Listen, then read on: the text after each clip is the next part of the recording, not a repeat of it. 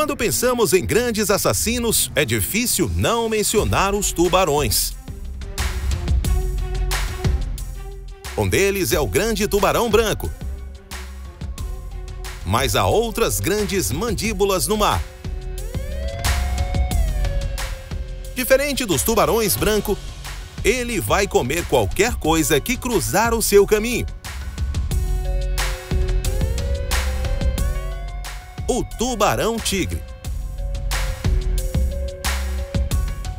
Chegando a medir até 6 metros de comprimento, eles podem devorar quase tudo. Em seus estômagos já foram encontrados botas, latas e até mesmo pneus.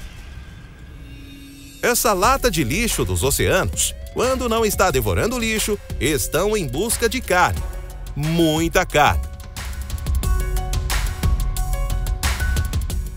Sua dieta inclui diversos peixes, focas, tartarugas e até tubarões menores.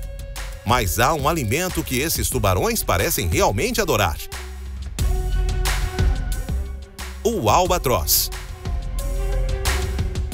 Não é à toa que eles são conhecidos como comedores de pássaros do mar.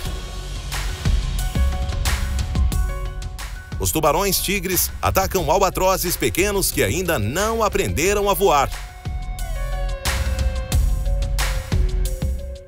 Eles ficam flutuando por cima da água e viram presas fáceis para esses predadores.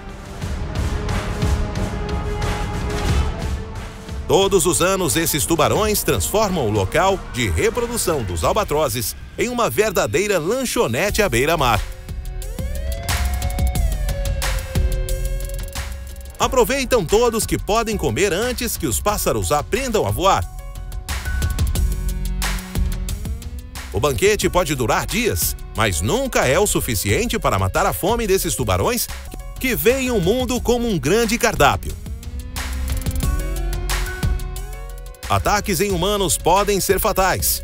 Eles estão entre os tubarões que causam o maior número de acidentes relatados. Os tubarões-tigres têm um instinto assassino com uma fome insaciável.